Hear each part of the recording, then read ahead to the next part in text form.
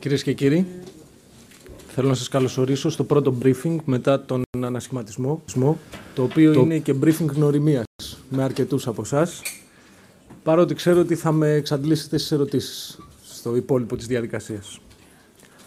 Ο πρόσφατος ανασχηματισμός έχει τα χαρακτηριστικά ανανέωσης αλλά και συνέχειας του κυβερνητικού έργου.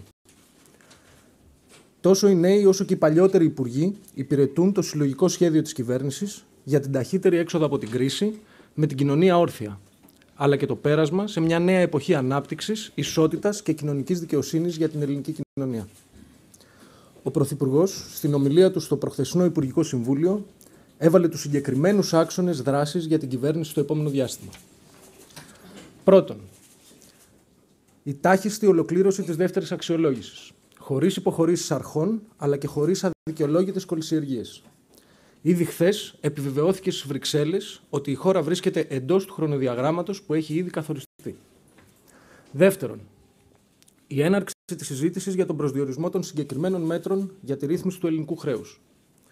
Όπως ακριβώς έχει προσδιοριστεί από το Eurogroup του περασμένου Μαου, δηλαδή σε βραχυπρόθεσμο, μεσοπρόθεσμο και μακροπρόθεσμο επίπεδο.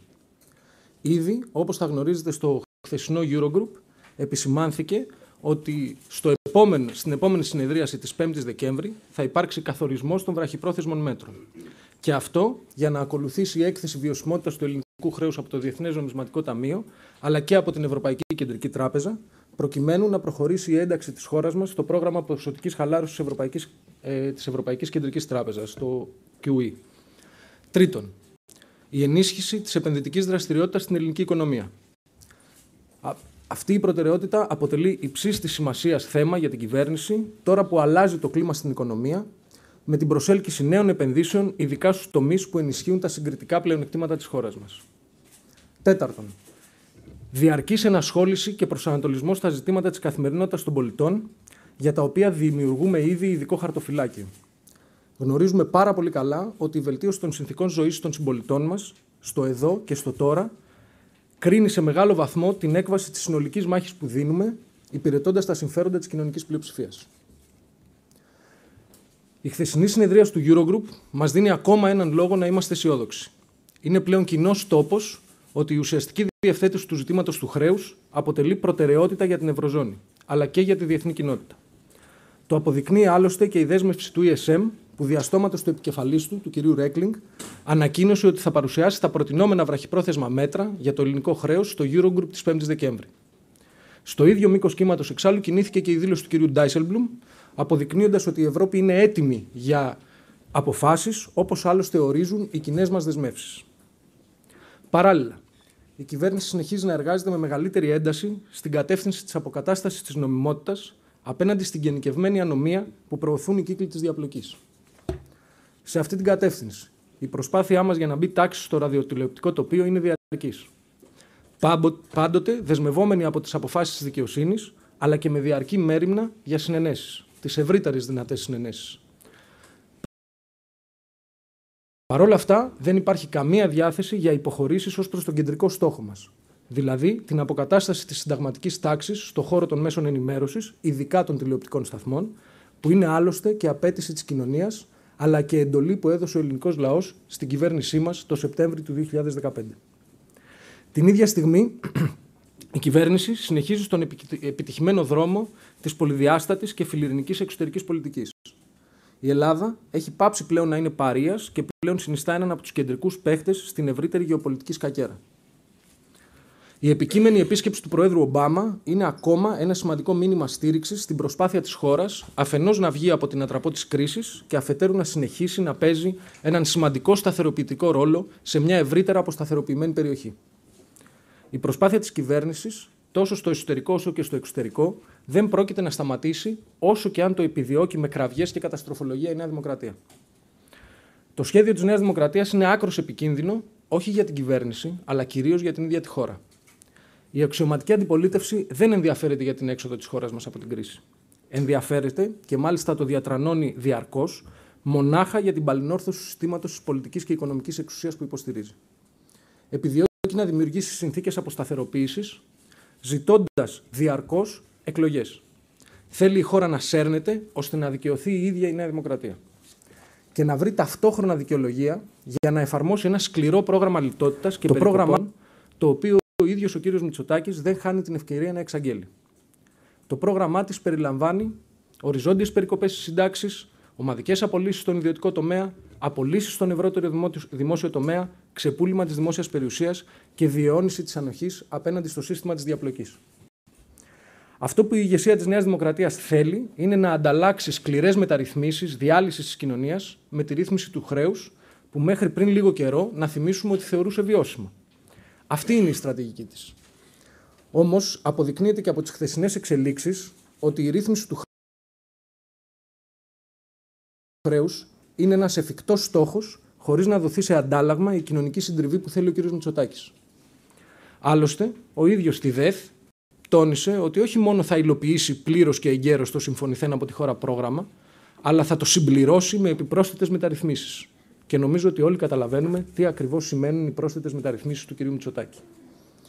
Ευτυχώς για τη χώρα, αυτή η κυβέρνηση θα προχωρήσει στην υλοποίηση του σχεδίου της για την έξοδο από την κρίση με την κοινωνία όρθια, θα βγάλει τη χώρα από τη μέγενη της επιτροπίας και το 2019 ο ελληνικός λαός θα έχει τη δυνατότητα να συγκρίνει τα πεπραγμένα της με την καταστροφική πενταετία 2010-2014, την καταστροφική πενταετία της διακυβέρνησης των κομμάτων του παλιού και χρεοκοπημένου πολιτικού συστήματος.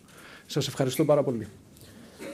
Θα μπορούσαμε τώρα να περάσουμε στο σκέλος των ερωτήσεων και σκοπός είναι να ρωτήσουν όλοι οι παρόντες και οι παρούσες δημοσιογράφοι, αλλά θα σας παρακαλούσα, επειδή είναι η πρώτη φορά, να λέτε όνομα και μέσο, γιατί πρέπει σιγά σιγά να αρχίσω και εγώ να σας γνωρίζω.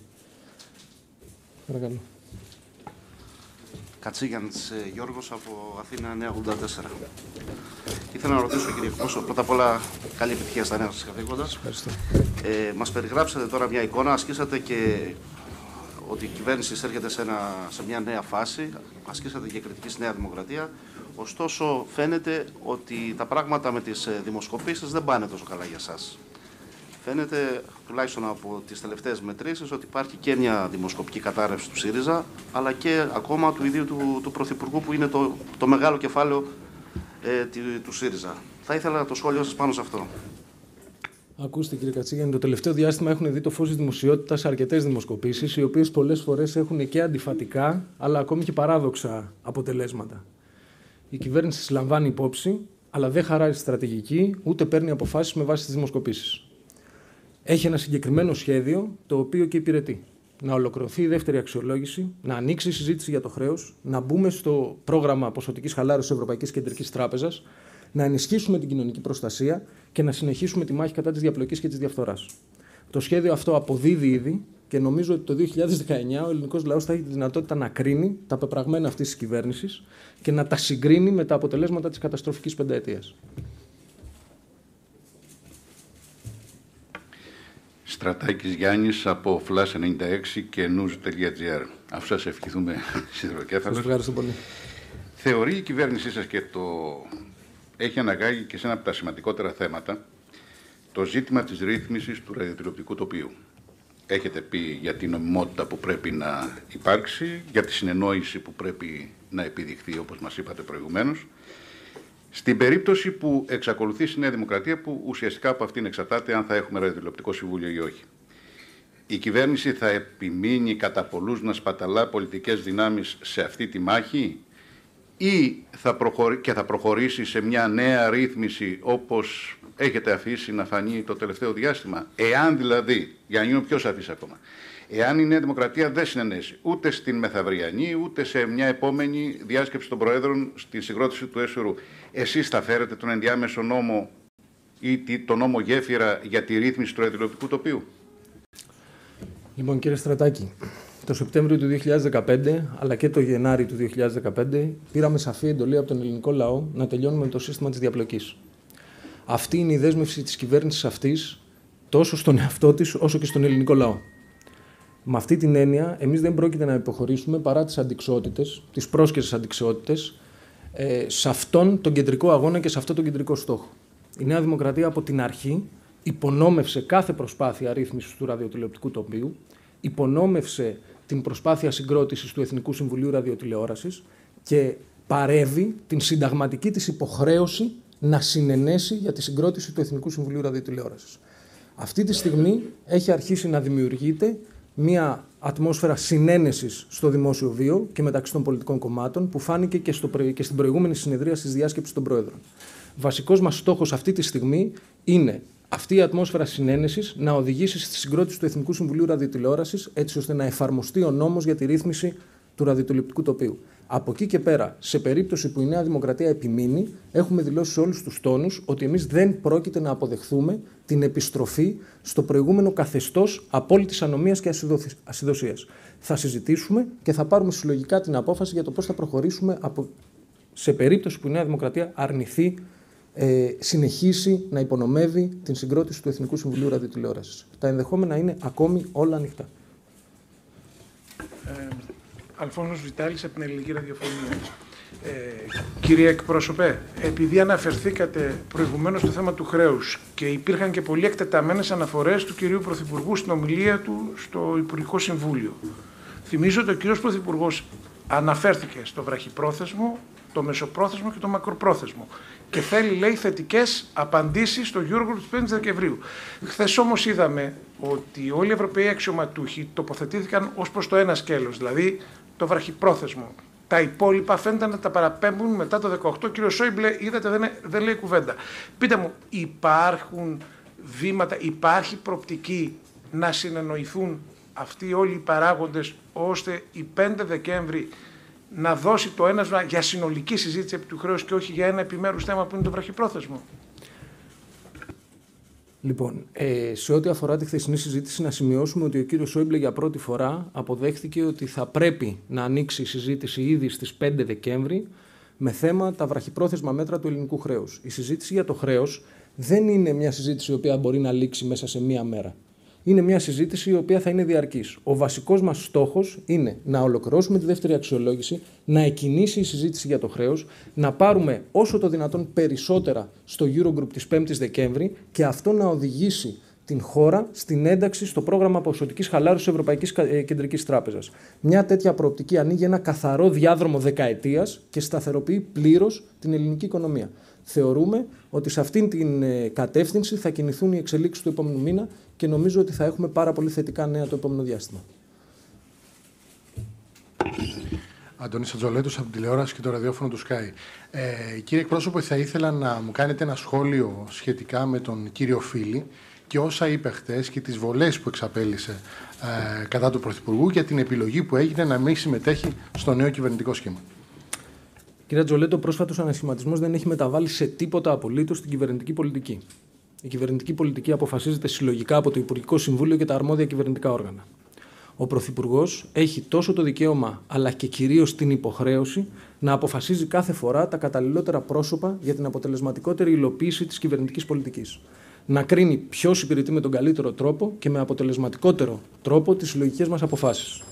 Εξάλλου, το πότε, ποιος και με ποια στρατηγική θα ανοίξει και θα διαχειριστεί μέτωπα και ρήξεις είναι επίσης προϊόν συλλογικής απόφασης.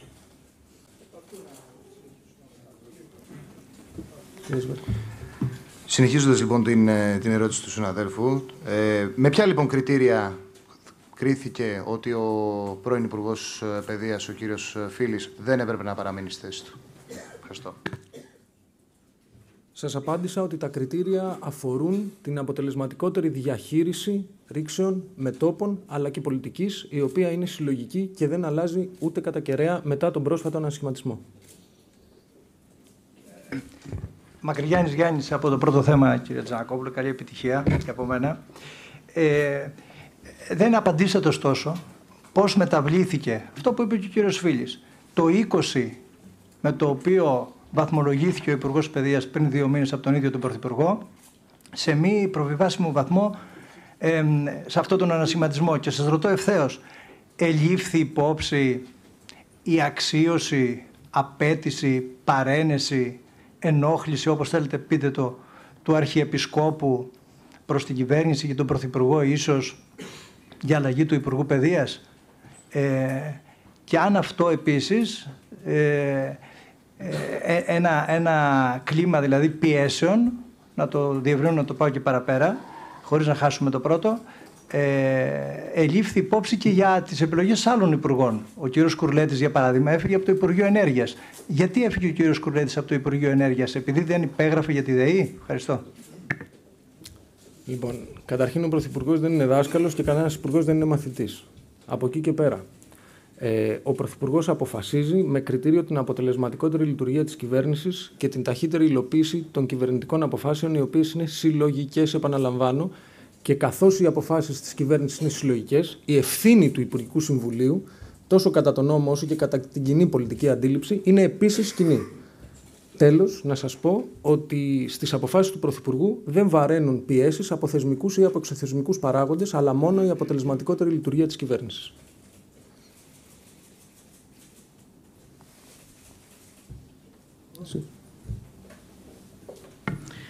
Καλό ρίζικος καταρχήν. Ευχαριστώ πολύ. Με αφορμή τη χθεσινή συνεδρίαση στο Eurogroup, αλλά και τις συζητήσεις στο περιθώριο αυτής της συνεδρίασης, θέλω να σας ρωτήσω, η κυβέρνηση επιθυμεί τη συμμετοχή του Δουνουτού στο πρόγραμμα με χρηματοδότηση; Γιατί τέτοια συζήτηση υπήρξε χθες στο περιθώριο της συνεδρίας του Eurogroup. Αν ναι, με τα μέτρα που ζητάει το Δουνουτού, τι θα γίνει και αν θα πρέπει να υπογραφεί ξεχωριστή συμφωνία με το Δουνουτού, όπως γινόταν και στα προηγούμενα προγράμματα. Τον Ιούλιο του 2015 η κυβέρνηση υπέγραψε μια συμφωνία η οποία θεωρεί ότι τη δεσμεύει όπως δεσμεύει και τους εταίρους της. Από εκεί και πέρα το ίδιο το Διεθνές Νομισματικό Ταμείο θα πρέπει να αποφασίσει αν θα συμμετέχει στο πρόγραμμα και αυτό να γίνει το ταχύτερο δυνατόν έτσι ώστε να μπορέσουμε να σταθεροποιήσουμε, να σταθεροποιήσουμε περαιτέρω την ελληνική οικονομία. Νέα, ε, νέα σχέση με οποιονδήποτε εκ, τους, ε, εκ των εταίρων δεν προβλέπεται στο επόμενο διάστημα.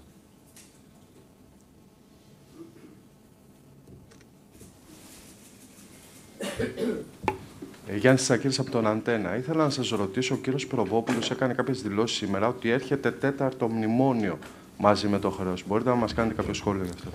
Ακούστε, το τέταρτο μνημόνιο είναι η στρατηγική και η ατζέντα της Νέας Δημοκρατίας. Η Νέα Δημοκρατία θέλει να αποτύχει η προσπάθεια της κυβέρνησης για το κλείσιμο της δεύτερης αξιολόγησης. Θέλει να αποτύχει η προσπάθεια για τη ρύθμιση του χρέους, ώστε να βρει την δικαιολογία για να επιβάλλει ένα σκληρότατο πρόγραμμα λιτότητας ως αντάλλαγμα για την ρύθμιση του χρέους. Αυτή την ατζέντα και αυτόν τον πολιτικό στόχο και αυτή την πολιτική στρατηγική της Νέας Δημοκρατίας και της ηγεσίας της δεν πρόκειται να την επιτρέψουμε.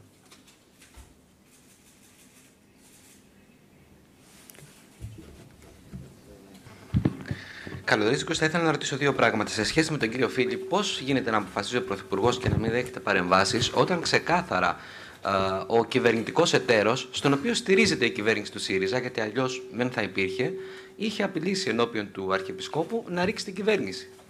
Άρα λοιπόν, μήπως είναι να αποφασίζει ο Πρωθυπουργός αν η τύχη του Υπουργού εξαρτάται και από τον κυβερνητικό του εταίρο. Και δεύτερον, ε, άκουσα την κριτική σας για τη Νέα Δημοκρατία. Ε, χαρακτήρισατε επικίνδυνη με αυτό Αν το είναι νο- εύκολο μία ερώτηση κάθε φορά. Οκ. Ευχαριστώ. Ο Πρωθυπουργός λαμβάνει τις αποφάσεις με τα κριτήρια τα οποία σας είπα και νομίζω ότι έχω ήδη απαντήσει στην ερώτησή σας.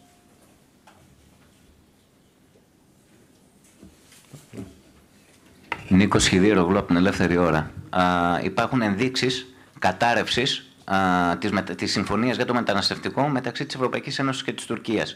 Ε, προετοιμάζεται η κυβέρνηση για το ενδεχόμενο ενός νέου α, κύκλου, ενός νέου κύματος α, μεταναστευτικού ρεύματος και αν ναι, ποια είναι τα μέτρα τα οποία έχουν ληφθεί. Ευχαριστώ. Η, η συμφωνία μεταξύ Ευρωπαϊκής Ένωσης και Τουρκίας αποτελεί ένα αναγκαίο βήμα για να μπορέσουν να ρυθμιστούν οι προσφυγικές ροές με έναν τρόπο νόμιμο και ασφαλή για τους ίδιους τους πρόσφυγες. Θεωρούμε ότι αυτή τη στιγμή είναι ευθύνη τόσο της Ευρωπαϊκής Ένωσης όσο και της Τουρκίας να μην εντείνουν τις μεταξύ τους αντιπαραθέσεις, αλλά να μπορέσουν να εγγυηθούν και οι δύο την συνέχιση της συμφωνίας, η οποία είναι μονόδρομος για τη διαχείριση του προσφυγικού ζητήματος και των, υπο- και των προσφυγικών κρίσεων. Ευχαριστώ.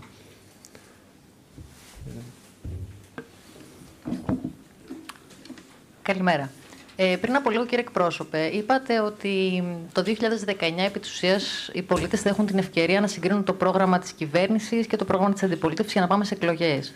Ε, θα ήθελα να μας πείτε πώς θα φτάσετε μέχρι τότε ε, βάσει των, τουλάχιστον των μετρήσεων που βλέπουμε από τις δημοσκοπήσεις ε, και με την κοινωνία απέναντί σας Ε, και από τη στιγμή επίσης που βλέπουμε ότι μια διαφορά με τη Νέα Δημοκρατία παγιώνεται, εκτός αν θεωρείτε ότι όλες οι δημοσκοπικές εταιρείες στο τελευταίο χρονικό διάστημα συνομωτούν εναντίον σας. Ευχαριστώ. Απάντησα προηγουμένως για τις δημοσκοπήσεις. Ε, οι δημοσκοπήσεις ούτε ανεβάζουν ούτε ρίχνουν κυβερνήσεις. Αυτός που ρίχνει κυβερνήσεις είναι ο ελληνικός λαός ε, στην συνταγματική προθεσμία άσκησης του εκλογικού του δικαιώματος.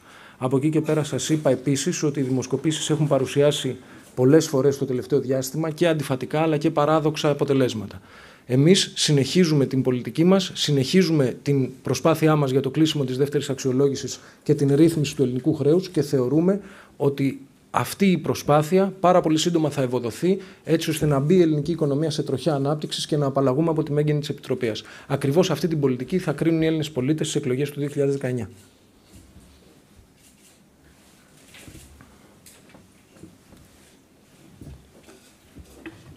Αληφερόπουλος, καλή επιτυχία στα νέα σας καθήκοντα.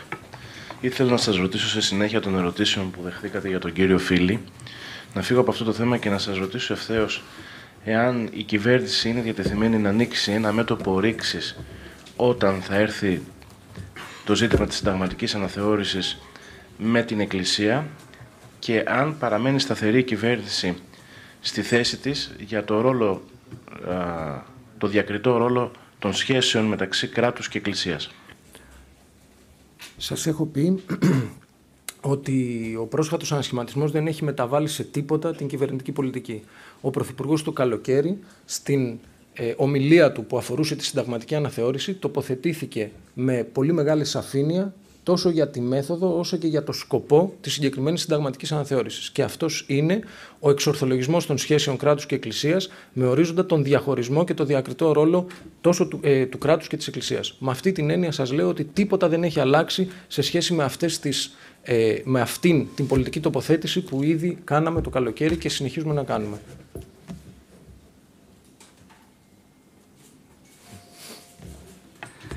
Σπύρος Ιδέρης, Independent Balkan News Agency. Καλορίζικος και σιδηροκέφαλος, να έχετε δύναμη. Θα ήθελα να πάμε λίγο στη, στην Ιταλία, η οποία παίζει το τελευταίο διάστημα στην Ευρωπαϊκή Ένωση και στην ειδησιογραφία για ένα e-Texit. Θεωρείται η πρώτη χώρα η οποία θα αποχωρήσει από το ευρώ. Αυτό σας δίνει την, την αίσθηση ασφάλειας για την Ελλάδα και το πρόγραμμα το οικονομικό το οποίο έχει και θα αναλάβει κάποιες πρωτοβουλίες ο Πρωθυπουργός μέσω των Ευρωπαίων Σοσιαλιστών και της Ευρωμασογειακής. Ευχαριστώ. Δεν μπορώ να τοποθετηθώ επί υποθετικών σενάριων.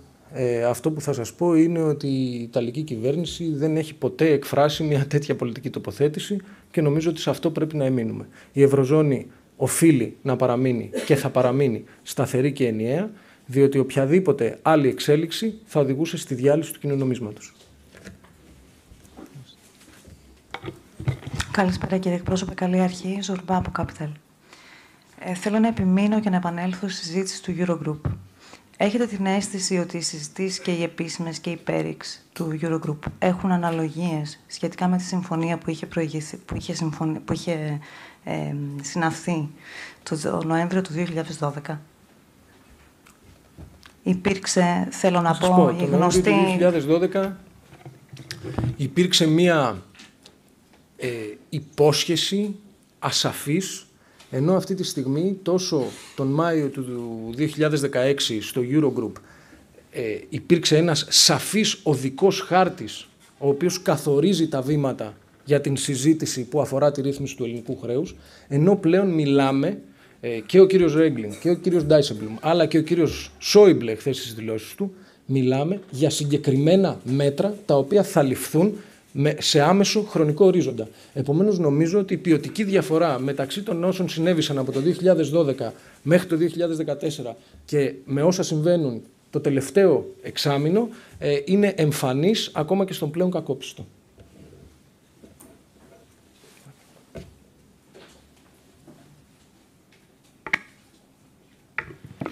Να ξεφύγουμε λίγο από τα δικά μας, αλλά να μείνουμε στην Ευρώπη, γιατί στην Ελβετία έχουν ξεκινήσει οι συζητήσεις μεταξύ της ελληνοκυπριακής και της τουρκοκυπριακής πλευράς στο Μοντ Πελεράν συγκεκριμένα στην προσπάθεια αναζήτησης λύσεως. Λοιπόν, ποιο είναι το μήνυμα που στέλνει αυτή τη στιγμή η Αθήνα σε αυτή την προσπάθεια την οποία γίνεται; Η ελληνική κυβέρνηση παρακολουθεί από κοντά τις εξελίξεις στις συζητήσεις αυτές, στηρίζει την, τις συνομιλίες ε, και επιθυμεί και στηρίζει την προσπάθεια για μια λύση βιώσιμη και δίκαιη με βάση τις αποφάσεις του Συμβουλίου Ασφαλείας ε, του Οργανισμού Ηνωμένων Εθνών. Η προσπάθειά μας είναι δεδομένη και θα συνεχίσουμε να παρακολουθούμε από κοντά τις εξελίξεις.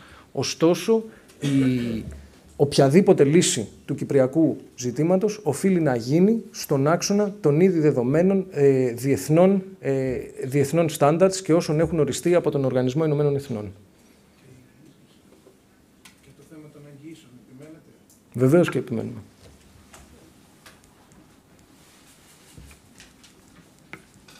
Κάραλης από την εφημερίδα Δημοκρατία. Καλή επιτυχία. Ξεκινήσατε την εισήγησή σας λέγοντας ότι στόχος της κυβέρνησης είναι η τάχιστη ολοκλήρωση της αξιολόγησης. Χωρίς, χωρίς αρχών αυτή ήταν η έκφραση. Θέλετε να γίνετε πιο σαφείς, να προσδιορίσετε συγκεκριμένα ποιες είναι αυτές οι αρχές, εν τέλει, ποιες είναι οι κόκκινες γραμμές της κυβέρνησης αυτής, στη δεύτερη αξιολόγηση. Ξέρετε ότι κεντρικό ζήτημα της δεύτερης αξιολόγησης είναι τα εργασιακά. Ε, πάρα πολλές φορές και ο Πρωθυπουργός αλλά και οι υπόλοιπα μέλη του Υπουργικού Συμβουλίου έχουν τοποθετηθεί σε ό,τι αφορά τους στόχους μας για την επαναφορά των συλλογικών διαπραγματεύσεων και την επαναρρύθμιση της αγοράς εργασίας, η οποία την πενταετία 2010-2014 απορριθμίστηκε πλήρως, χωρίς να επιτύχουν τα, οι στόχοι τους οποίους είχαν βάλει τόσο οι ε, θεσμοί, όσο και οι τότε ελληνικές κυβερνήσεις, δηλαδή η ανάκαμψη της ανταγωνιστικότητας της ελληνικής οικονομίας. Εμείς θεωρούμε αυτό το εργασιακό μοντέλο πλήρως αποτυχημένο και γι' αυτόν τον λόγο αγωνιζόμαστε και δίνουμε τη μάχη ώστε να αποκατασταθεί το καθεστώς των συλλογικών διαπραγματεύσεων, να επακατασταθεί η νομιμότητα στην αγορά εργασίας και να μπορέσουμε να περάσουμε σε ένα νέο μοντέλο προστασίας του εργατικού δυναμικού της χώρας. Με αυτή την έννοια, αυτός είναι ο κεντρικός στόχος, στον οποίο δεν υπάρχει καμία διάθεση υποχώρησης από την ελληνική πλευρά. Να σας θυμίσω εξάλλου ότι στην πρόσφατη, ε, στην πρόσφατη έκθεση των εμπειρογνωμόνων, ε, της ομάδας εμπειρογνωμόνων, η οποία συγκροτήθηκε με από κοινού μεταξύ της ελληνικής κυβέρνησης και των θεσμών, η ομάδα αυτή των εμπειρογνωμόνων έχει καταθέσει ένα πόρισμα το οποίο βρίσκεται πάρα πολύ κοντά στις θέσεις τις οποίες προβάλλει στη διαπραγμάτευση η ελληνική κυβέρνηση.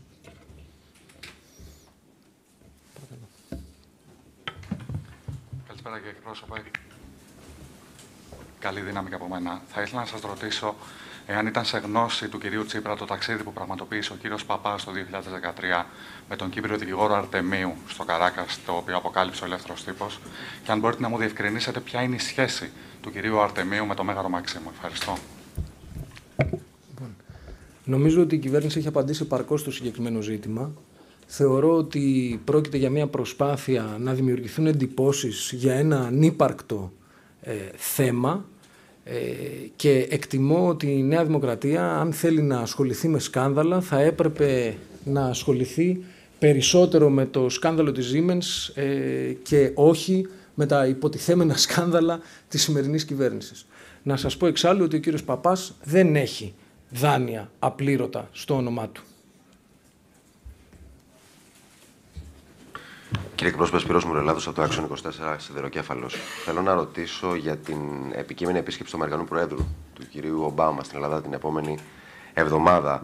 Στην τελευταία επίσκεψη Αμερικανού Προέδρου στην Αθήνα έγιναν πολύ μεγάλες κινητοποιήσεις, επεισόδια δικά σας τελέχη που το στάθησαν στις κινητοποιήσεις τότε. Θέλω να ρωτήσω αν σας προβληματίζει το γεγονός πως και δικά σας τελέχη πιθανώς να συμμετέχουν και σε αυτές τις κινητοποιήσεις την επόμενη εβδομάδα και αν αυτό ως εικόνα βλάπτει την εθνική υπόθεση όπως εσείς την έχετε προσδιορίσει, ειδικότερα για το θέμα του χρέους. Ευχαριστώ. Ακούστε. Η επίσκεψη του Αμερικανού Προέδρου γίνεται μετά από 17 χρόνια από την επίσκεψη του κυρίου Κλίντον στην, ε, στην Αθήνα. Να σας θυμίσω ότι τότε υπήρχε σε εξέλιξη ένας πόλεμος και η συγκυρία ήταν εντελώς διαφορετική. Αυτή τη στιγμή δεν νομίζω ότι η κινητοποίηση είναι το βασικό ζήτημα που θα απασχολήσει την περίοδο της επίσκεψης του κ. Ομπάμα. Ο κ. Ομπάμα έρχεται εδώ για να συζητήσει ζητήματα που αφορούν το ελληνικό πρόγραμμα, έρχεται να συζητήσει ζητήματα που αφορούν τις περιφερειακές εξελίξεις, την γεωστρατηγική θέση, της ε, χώρας, τις διμερείς σχέσεις και μια σειρά από άλλα ζητήματα τα οποία θεωρούμε απολύτως σημαντικά. Νομίζω ότι είναι μια ε, εξαιρετική και εμβληματική ε, επίσκεψη η οποία σηματοδοτεί και την αναγνώριση που δίνεται στις μεγάλες προσπάθειες τις οποίες έχει καταβάλει η σημερινή κυβέρνηση για την ρύθμιση του χρέους και τη σταθεροποίηση της ευρύτερης περιοχής.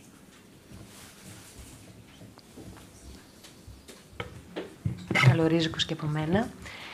Ε, η θέση της κυβέρνησης ότι οι εκλογές θα γίνουν το 2019 υποθέτω ότι εμπολής εδράζεται στην πεποίθηση ότι θα πετύχει αυτό το σχέδιο που έχει περιγράψει ο Πρωθυπουργός τις προηγούμενες ημέρες και μας επαναλάβατε κι εσείς στην εισαγωγή σας. Εάν όμως κάτι δεν πάει στραβά, αν η χώρα πάρει τα μισά από όσα υπολογίζει ότι μπορεί να πάρει, αν κάτι στραβώσει με την υπόθεση του χρέους, αν δεν πάρουμε ε, τα μακροπρόθεσμα μέτρα, αν τα πρωτογενή πλεονάσματα ε, δεν ε, χαμηλώσουν.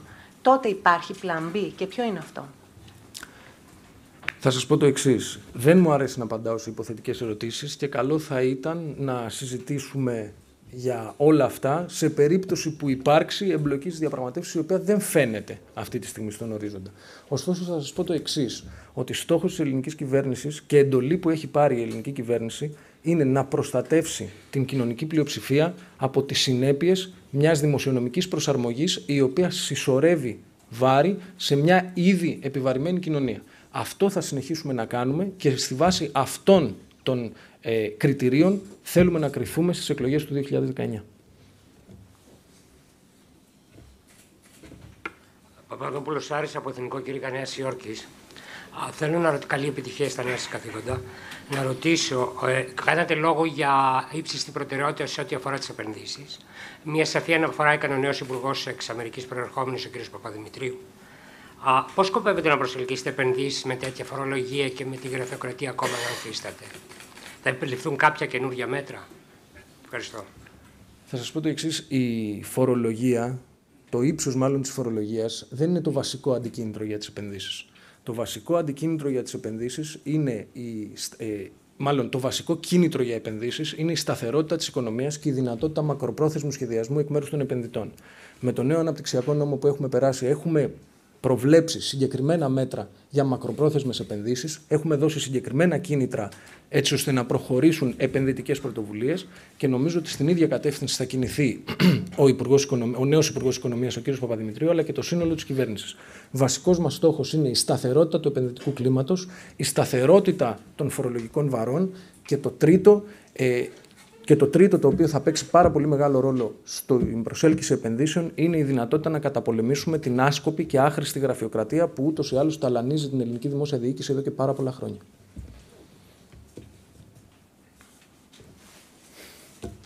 Σας ζητώ συγγνώμη, ίσως ήμουν απρόσεκτος και δεν κατάλαβα την απάντησή σας. Τελικά ο Πρωθυπουργός γνώριζε για το ταξίδι του κύριου Παπά ή όχι;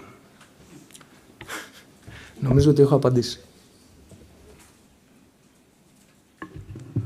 Καλησπέρα και από μένα. Καλή επιτυχία. Ε, Δημήτρης Κουκλουμπέρης, αποφαίνοντα των συντακτών και ραδιοφωνικό σταθμό στο κόκκινο. Ήθελα να σα ρωτήσω, κύριε εκπρόσωπε, αν σκέφτεται η κυβέρνηση ε, για να εξασφαλιστεί η μέγιστη δυνατή συνένεση για το ζήτημα του χρέους να λάβει κάποια πρωτοβουλία, όπως για παράδειγμα σύγκληση Συμβουλίου Πολιτικών Αρχηγών ή δημιουργία κάποιας επιτροπής όπου θα μπορούσαν να συμμετέχουν ε, εκπρόσωποι κομμάτων για το, για το ζήτημα του χρέους. Να σας απαντήσω ότι υπάρχει ήδη κοινοβουλευτική επιτροπή η οποία συζητά διακομματικά το ζήτημα του ελληνικού χρέους. Ε, από εκεί και πέρα, εμείς επιδιώκουμε τις συνενέσεις, περιμένουμε να ακούσουμε και τις θέσεις των, των υπολείπων κομμάτων σε ό,τι αφορά το θέμα αυτό και από εκεί και πέρα να πάρουμε τις αποφάσεις μας.